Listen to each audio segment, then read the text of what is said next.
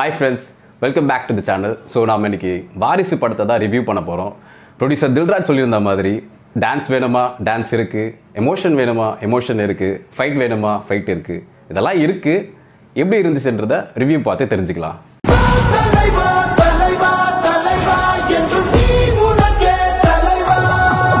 சரிங்க. இந்த படத்தில் கேஸ்டிங் பார்த்தீங்கன்னா தளபதி விஜய் ராஷ்மிகா சரத்குமார் ஜெய்சுதா ஸ்ரீகாந்த் ஷாம் அப்புறம் பிரகாஷ் ராஜ் யோகி பாபு இது இல்லாமல் ஸ்பெஷல் கேமியோவில் நம்மளோட எஸ்ஜே சூர்யா வந்து கலக்கு கலக்குன்னு கலக்கியிருக்காரு.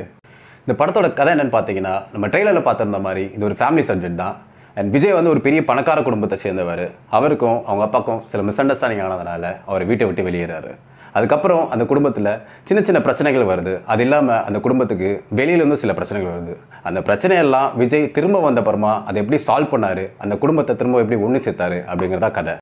படத்தில் பாசிட்டிவ்ஸ்னு பார்த்தீங்கன்னா தளபதி விஜய் தான்.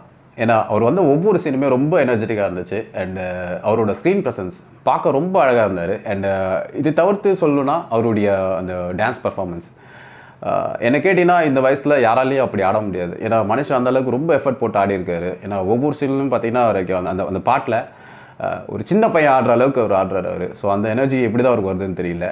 அண்டு uh, இது தாண்டி அவரோட ஹியூமர் சென்ஸ் uh, இதில் பார்த்தீங்கன்னா ஒரு யோகி பாபு கூட பண்ண அந்த காம்போ அந்த காமெடி பார்த்தீங்கன்னா தேட்டரில் ரொம்ப நல்ல ரெஸ்பான்ஸ் இருந்துச்சு. ஏன்னா ஒரு இடத்துலையுமே வந்துட்டு என்ன காமெடி இப்படி இருக்குது அப்படின்ட்டு நினைக்கிற அளவுக்குலாம் இல்லை. ரொம்ப நல்லாவே இருந்துச்சு. அண்டு uh, இந்த படத்தில் ராஷ்மிகா பண்ணியிருக்க ரோல் பார்த்தீங்கன்னா பெருசாக சொல்கிற மாதிரி இல்லை.